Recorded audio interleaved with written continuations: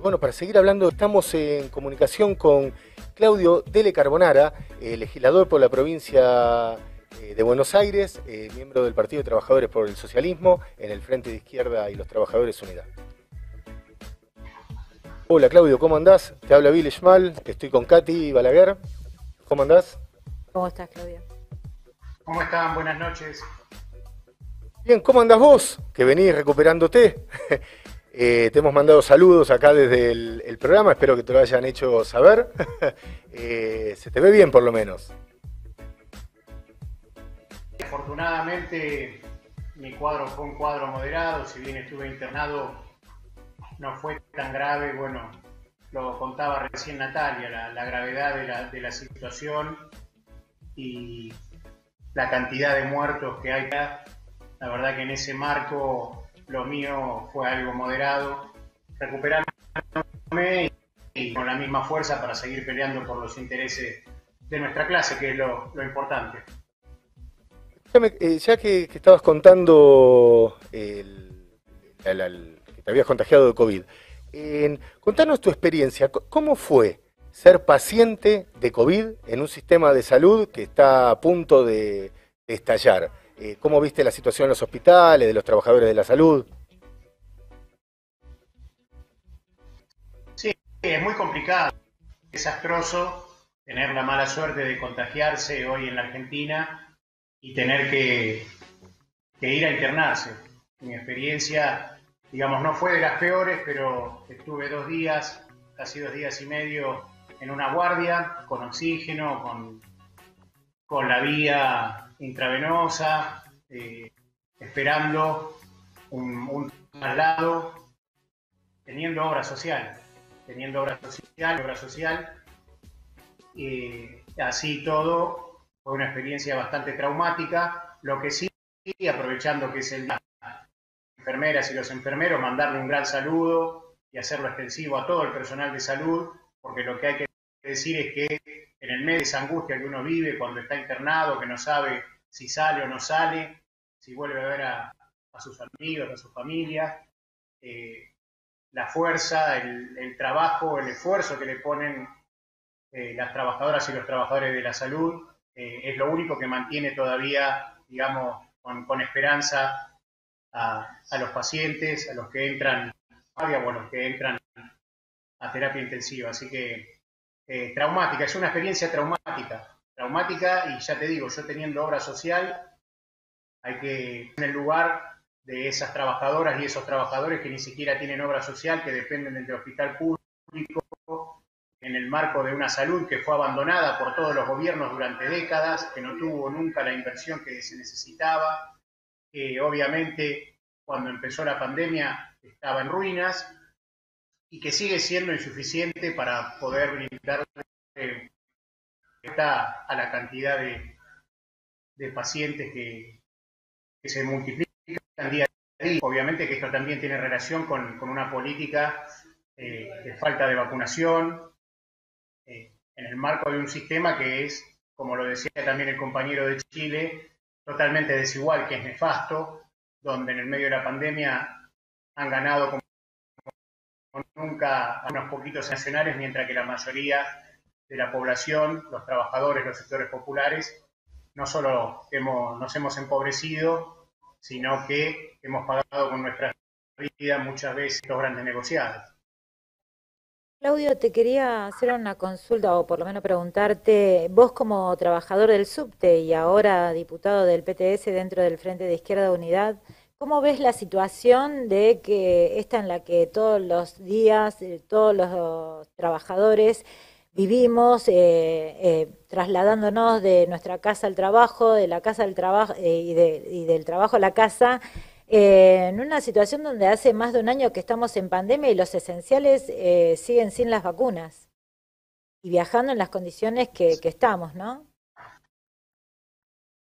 Sí, es parte de, de la crítica que se viene haciendo, que venimos haciendo, que hacen ustedes también en cada programa, a la política de salud que tiene los diferentes gobiernos, tanto el nacional, el de la el de Cava, no hay mucha diferencia.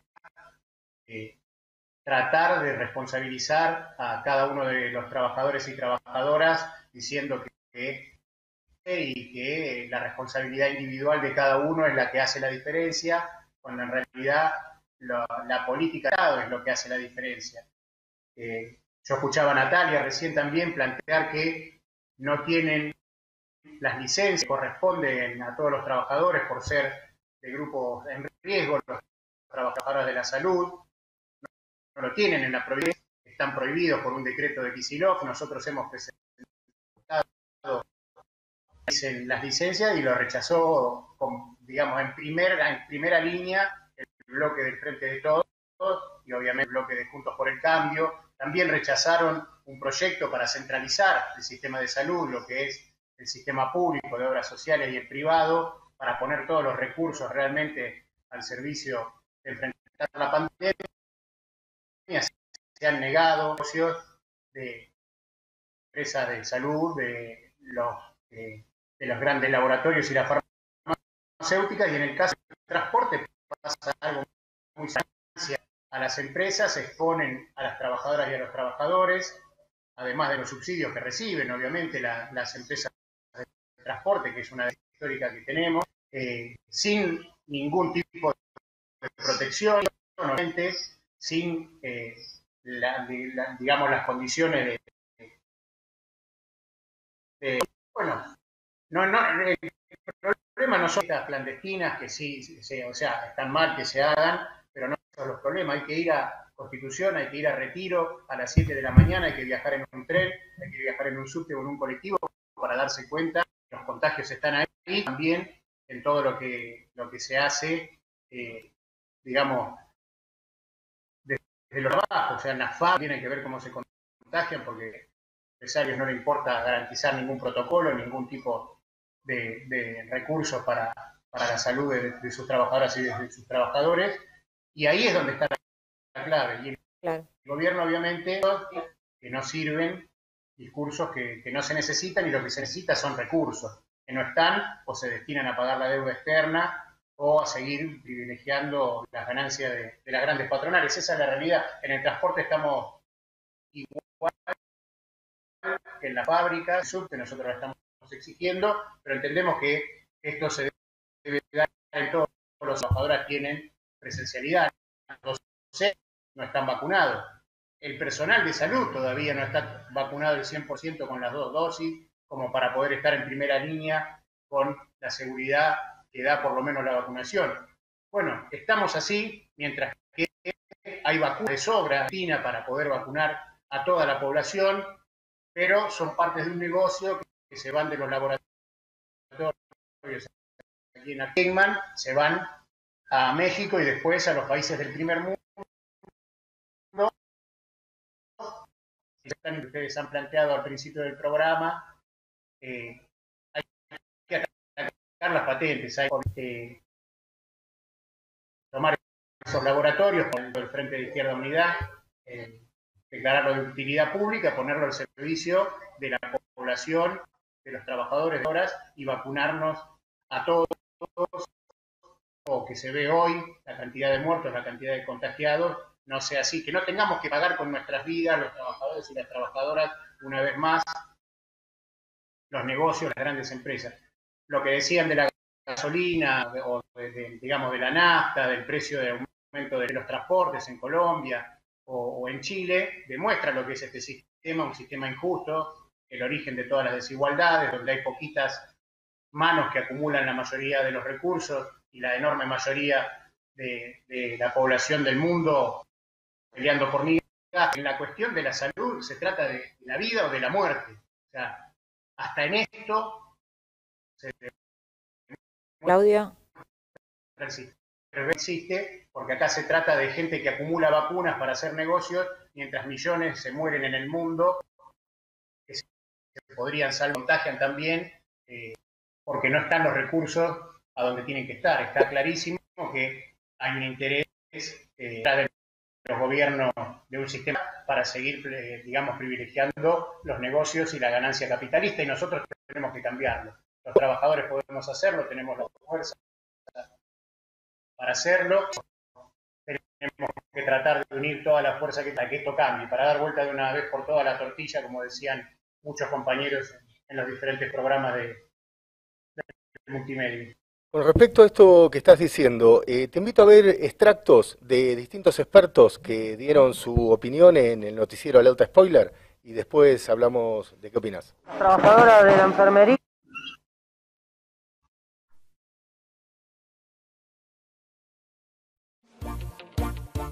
Eh, los tiempos entre las pandemias o las grandes epidemias se van a ir acortando cada vez más. O sea que por ahí quizás no tengamos otra pandemia con esta y ojalá que no la tengamos, pero podemos tener epidemias importantísimas. Eh, y, también, y tampoco no, no, no, no estamos seguros de que el sistema de salud vaya a resistir esto. Eh, entonces, el sistema de salud tiene que empezar a ser mejorado, tiene que ser visto como una prioridad por los diferentes gobiernos. Tiene que ser, hay que sentar en la mesa de eh, discusión de ver cómo mejoramos y cómo tiene, debe ser el sistema de salud para nuestro país, para que llegue a todos y de todos de la misma forma. Argentina tiene tres, vacunas básicamente que han hecho contratos. Es Unive, que es eh, el segundo la de AstraZeneca y el tercero la eh, Sinopharm. En general las vacunas no han llegado a la cantidad que uno tenía previsto, punto de vista de éxito, de éxito, de a cumplir con la, con la población objetiva, es vacunar a toda la población mayor de 60 años con, eh, en el mes de junio, ¿no?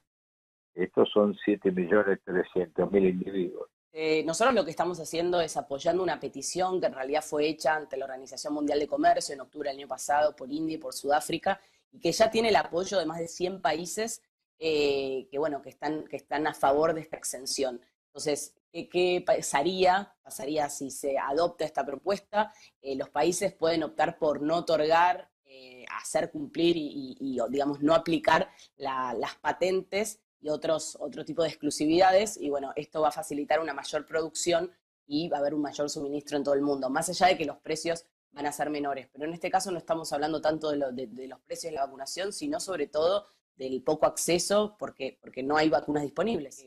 Más a nivel, no, no hablo nada más de nuestro país en general, porque también nos preocupa muchísimo de los países donde estamos trabajando, donde no se están cumpliendo eh, todos esos acuerdos que se habían llegado, por ejemplo, el mecanismo COVAX, que es el, sistema por el cual los países más pobres van a poder acceder, a ciertas dosis y no están accediendo, no están llegando. Entonces, eh, la verdad que, de nuevo, los estados se tienen que poner muchísimo más firmes, los, los estados tienen esa potestad de, cambiar las cosas. Obviamente, eh, por ejemplo, si, se levantasen las patentes, habría una podría haber una transferencia de tecnología y muchísimos laboratorios podrían empezar a producir esas, vacunas y claramente, bueno, la, pandemia terminaría mucho antes. Entonces, lo que, El problema general de la vacuna es un problema mundial, primero y fundamental. Segundo, nosotros tenemos una asignatura pendiente que debía ser encarada en forma urgente, que es producción local genuina de vacunas, desde el inicio al final. Eso tendrá que ser resorte del Estado y tendría que ser, digamos, un motivo central de trabajo. Ya tendríamos que estar trabajando, el grupo que están trabajando en esa perspectiva, tendríamos que haber estado trabajando con, esa perspectiva desde mucho antes. Y después, en el terreno local, Argentina tiene que ser un, un país productor de vacunas. Punto. Y hay que invertir lo que sea necesario en esa perspectiva. Después está toda la legislación sobre patentes, y lo que queda claro en la discusión actual es bueno que las grandes corporaciones y compañías privilegian las ganancias sobre el acceso universal de todo de todas las personas a las vacunas.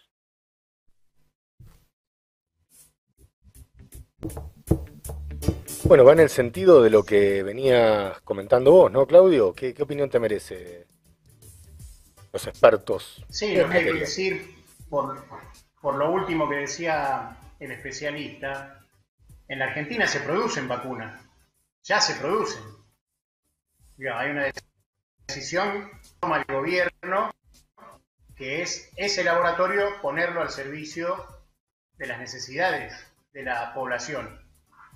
Digamos, hay que declararlo de utilidad pública, porque que decía también el especialista es, lo que nosotros venimos sosteniendo, se privilegia el negocio de unos pocos sobre los intereses de, las mayorías populares y en este caso sobre la vida de decenas y de decenas que mueren cotidianamente por este virus y que se podría evitar. Entonces, esta es la pelea, también es una pelea en, la conciencia de las trabajadoras y los trabajadores que todavía tienen confianza en que los gobiernos realmente están tratando de hacer las cosas bien para evitar los las muertes. Esto se demuestra, se demuestra que es falso, ni hablar de que muchos de los, recursos que se para la salud se están yendo en el pago de deudas que son ilegales y legítimas, como ya se demostró, que se le sigue, eh, digamos, dando subsidios a las patronales, que se le sigue pagando,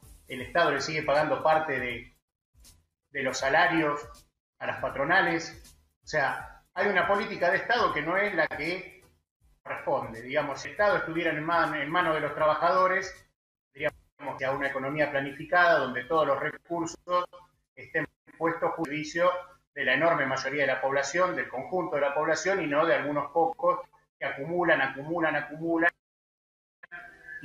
familias enteras sin trabajo, sin cama, sin acceso a la, a agua, sin acceso, que se mueren y que muchas veces ni siquiera en, en las estadísticas, porque esto también hay que decirlo, las estadísticas muestran una parte de la realidad y hay otra estadística que es la que no se conoce, la de la gente que se ha quedado sin poder, poder pagar el alquiler, que están en la calle, que como se ve en algunos lugares ya tiene que ir a tomar un terreno para poder bolsa o una chapa para, para que sus hijos no se mueran de frío. Bueno, esta es la realidad de un sistema que hay que tirar abajo, que hay que cambiar, que no sirve, que se ha demostrado totalmente eh, ineficiente para responder a la enorme necesidad que tienen la enorme mayoría de la población.